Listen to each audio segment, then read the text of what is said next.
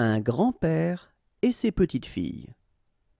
Un grand-père et ses petites filles.